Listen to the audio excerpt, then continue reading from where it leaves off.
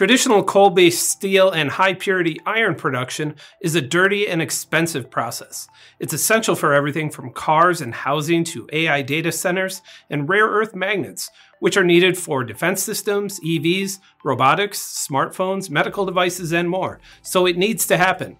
But there may be a cheaper and cleaner way to do it.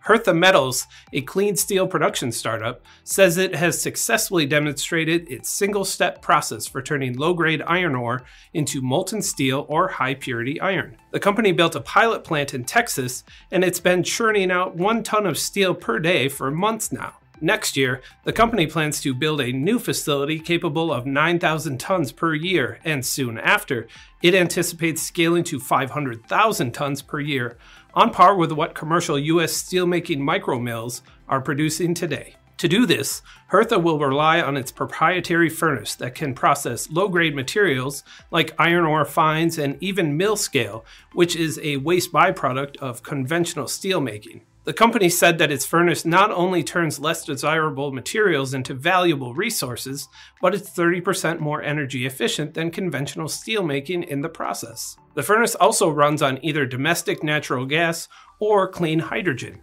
meaning it can cut emissions anywhere from 50% to 98%. Perhaps most importantly, Hertha designed its system to integrate directly into existing steel mills, which means producers won't need entirely new facilities if they want to adopt the company's green technology. And even smaller plants will be able to operate profitably due to Hertha's modular design. With backers including Bill Gates recently placing a $17 million bet on Hertha, the company may have the momentum to help the US create a reliable, domestic supply of steel and high purity iron.